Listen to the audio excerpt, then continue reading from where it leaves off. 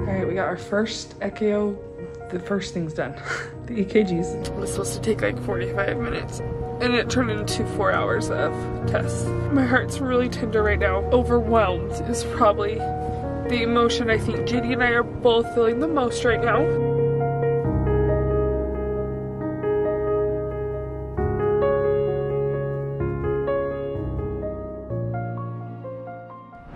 Good morning, Team Mower. I am talking to you this morning outside of the hospital. So we are here for an echo, echocardiogram, if I'm saying that right, stress test, which I wonder if they may be the same thing, not really sure, as well as a ultrasound, lung x-rays. The more things I say, the more I want to cry. So I'm gonna leave it there. A few other things. We are here today. JD's already inside. I just gave my kids to my sister and I'm gonna go in and join him.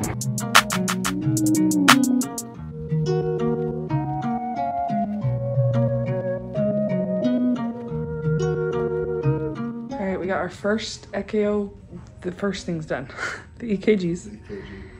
And a baseline, and then they're gonna have him run and hopefully get his heart rate above 158. Is that what you said? 158, and then they'll lay him down and do it again. So. Look at that train. It's real nice. Yes, that was a hefty motor right there.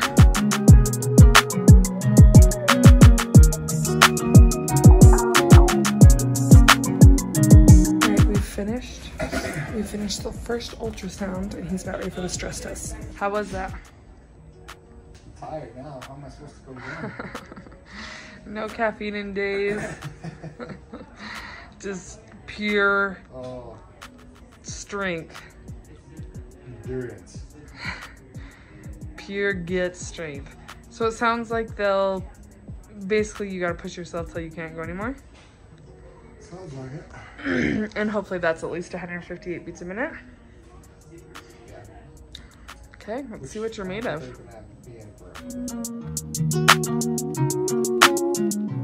Okay, I thought I'd come outside and update you guys. Take my mask off for a minute and get some fresh air. I'll be honest, the doctor used a lot of words. Also, this doctor seems fantastic, but like so incredibly smart that I don't understand what he's saying. And I feel like most of the time I feel like I can keep up with him, but I'm like, what? I don't I don't know what he's saying. so he we just had like a family doctor prescribe us here and I think that this guy's gonna take over. He did say though that he's moving June 1st. so at least he'll help us. When we were engaged, JD found out he had high blood pressure. He went to like last physical, but like on his parents' insurance, because back then you couldn't stay on your parents' insurance. And um, found out he had a high blood pressure. So they put him on medicine and up until today, I thought he had been taking that religiously since we got married. And he was like, no, I'm not good at taking it, which is interesting. Um, and so the doctor was like, so nobody found out at 21 years old why you had high blood pressure. And he was like, well, they just said it was like hereditary. And the doctor was like, okay, but like why? Like you don't just have high blood pressure.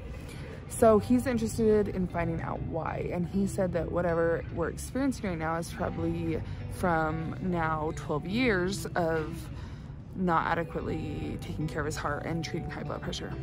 So, um, he also said some scary words like, I guess the bottom ventricles, or I guess, I don't know which direction, of your heart should be like half the size as the top ones. And these ones were definitely um, almost as big. So he has enlarged ventricles and there was a couple other things that they found.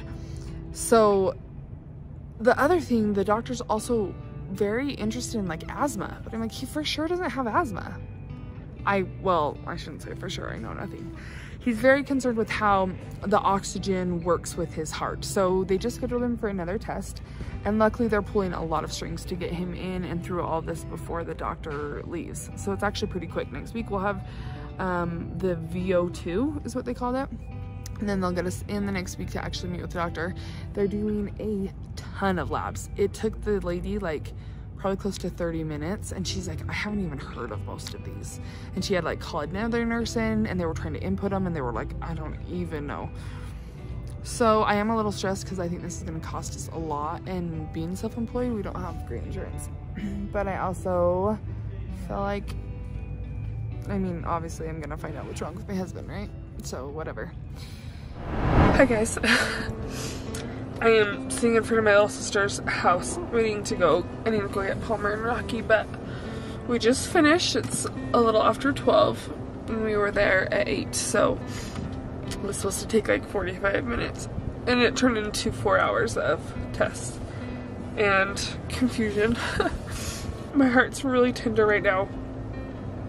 Oh, I'm overwhelmed is probably the emotion I think JD and I are both feeling the most right now. Um, if I had to wrap this up with a bow because the last four hours have been so confusing, especially to people without medical degrees. Um, his echocardiogram, whatever, his tests this morning once again were abnormal from the get-go the doctor was looking at them and, like I said, throwing out weird things. Has he had a blood clot? Has he this or that? So he was like, I don't want you going anywhere, which is never a good sign, right? Like, the more immediate things are, the more worrisome. So he put in blood drawn. He put in so many things. Like, I honestly, I bet we just had like $20,000 worth of tests done. So, and I don't know how our insurance is gonna handle it. But I told JD as long as he lives, we can make money to pay for it. It's fine. Like you just, I just need you to survive. Basically, now we've had the EK. I, honestly, okay. First of all, let me say, if anybody knows more about medical stuff than me, there's a very good chance that you're gonna be like, I don't think that's accurate. What I'm saying is what I understand, but I am overwhelmed and emotional for sure, and I am confused for sure. No question about it. I'm confused. So it sounds like maybe the EKG showed you know, the stuff, they saw inflammation, they went and checked, and he didn't have an immediate problem. Today's test, the ultrasound, they could tell that his, not his ventricle, the other part, so there's the four, the top part, it should be half the size as his ventricles, and it was as big. And then there was some kind of belt, started with an M, M something belt, and that was enlarged quite a bit as well. And so they said that if he it is like just caused from high blood pressure that that eventually we could get that possibly to go down but his liver isn't functioning as well as they would like and so tomorrow morning we go in for an ultrasound on his liver um so he said that like yes everything could point to high blood pressure and maybe that's what we'll leave her with but there's a lot of weird things. And he's like I can't just in good faith be like this is just high blood pressure. And based off of how the other doctor was like oh we gotta get you immediately. I'm I almost feel like there's something that people aren't telling me. I don't know. Telling us not just JD like not just me like they're not telling us. So we are going to get the ultrasound on the liver tomorrow. Then he has to pee in a it's hard because like he has to be peeing for or fasting for one thing he can't be for another thing. So they just took 21 vials of blood. 21 vials of blood from him. And he was fasting. Like he, I was like you're gonna pass out throw up something. I don't even know. He has to be fasting for tomorrow's test but then he can't be fasting for when he takes the the when he pees in the thing and then he has to come get more blood drawn they can't take more vials than what he took today they were like we we are gonna have to split this up like the doctor had to put in like a hundred different tests i'm like this has got to be the most thorough doctor I've ever been to, which is good, but shocking and like so smart. I literally understood like one of every 10 words he said. So after he left, the nurse was like, do you have questions? And I'm like, all the questions.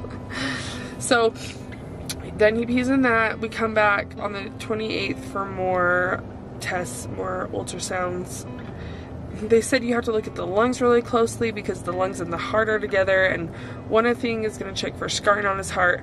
And then we have a cardiac MRI and a follow-up. They want to do all this before the follow-up May 3rd. So it is going to be a lot of appointments over the next 10 days. But that'll be fine. Um,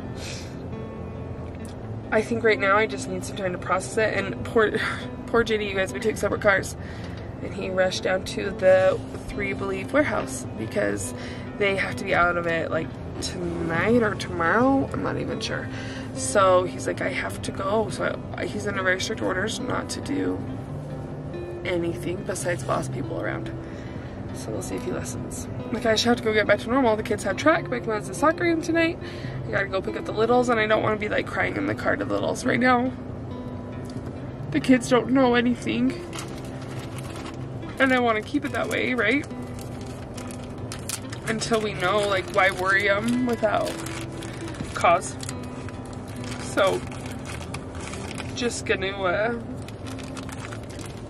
keep on, keep on keeping on, and say a little prayer and then get back to the grind. I don't, I don't know. I don't even know. So we just got home from track. How was it? Good. And we got a ring at the doorbell. Derek and Bree sent us Rumbi Island Grill today. so good. So good. So So Pate's eating this one. I don't know, I think I need to buy that before you get your grummy paws all over it. And she even knows our kids well enough to send them mac and cheese. This looks so good. I want a chicken. Miller's, thank you. It's been quite a day. It was very, very sweet of you.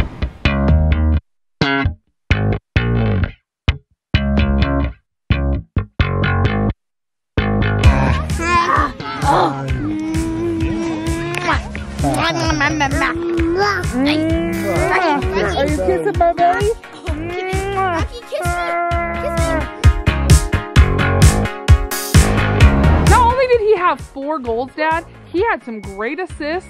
Dude, the hustle. Oh, y'all right there? Buddy, hey, hey, the hustle that you showed, proud of you. Yes. Long day, but these two made it better. Better than it started out.